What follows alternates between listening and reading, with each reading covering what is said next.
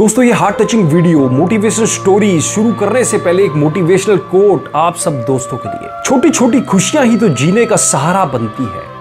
छोटी छोटी खुशियाँ ही तो जीने का सहारा बनती है। ख्वाहिशों का क्या, वो तो पल पल बदलती है। चलिए, आज आपको एक लाइफ चेंजिंग मोटिवेशनल स्पीच सुनाता हूँ। आपको इस कहानी को सुनकर निश्चित जीवन का मूल्य समझ में आ जाएगा। दोस्तों, एक व्यापारी को 10 लाख के मुनाफे का विश्वास था।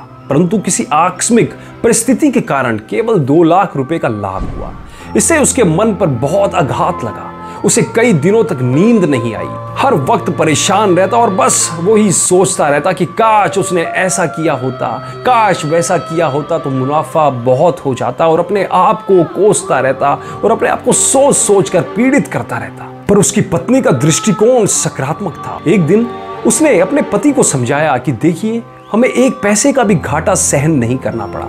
अनगिनत ऐसे बहुत सारे व्यक्ति हैं जो जीवन में एक लाख रुपए का कभी दर्शन भी नहीं कर पाते। उनकी तुलना में हम सुखी और समृद्ध हैं। आप अकारण ही दुखी हो रहे हैं। आपको जो लाभ हुआ है, उसे प्रसन्नता से स्वीकार करना चाहिए, ना कि दुख लेना चाहिए। दोस्तों लाइफ की छोटी छोटी घटनाओं में दृष्टि भेद आपके एटीट्यूड से बहुत बड़ा अंतर पैदा कर देता है।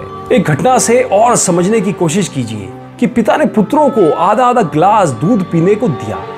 एक बेटे ने कहा, गिलास आधा खाली है। दूसरे बेटे ने कहा, आधा भरा है। दोनों का तात्पर्य एक था, लेकिन जिसका नेगेटिव एटीट्यूड था, उसका ध्यान अभाव की ओर गया तथा जिसका चिंतन पॉजिटिव एटीट्यूड में था, उसका भाव की ओर गया। आप लोगों को नहीं लगता कि सबको अपनी थाली रूखी प्रतीत होती है? तथा दूसरों की थाली में अधिक चिकनाहट का अनुभव होता है। कुछ लोग YouTube, TikTok, Facebook आदि पे ये ज़रूर सोचते होंगे कि मैं तो इतना अच्छा कंटेंट बनाता हूँ और मेरा वीडियो बहुत कम लोग देखते हैं और बहुत कम लोग चैनल को सब्सक्राइब करते हैं। और वो साथ साथ ये भी सोच के उन लोगों को कोसते होंगे कि वो देखिए, उनको जो एब्यूसिव लैंग्वेज यूज़ करके वीडियो बनाते हैं और उसका वीडियो इतना चलता है, इतने सब्सक्राइबर हैं उसके। दोस्तों, इस मनोवृत्ति में सुधार लाना चाहिए।